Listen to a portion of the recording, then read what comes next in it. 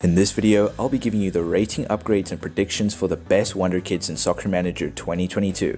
And according to YouTube statistics, only a small percentage of people that watch my videos are actually subscribed. So if we can get this video to 100 likes, I will do a part 2 and please consider subscribing. It is free and you can always unsubscribe later. Enjoy the video.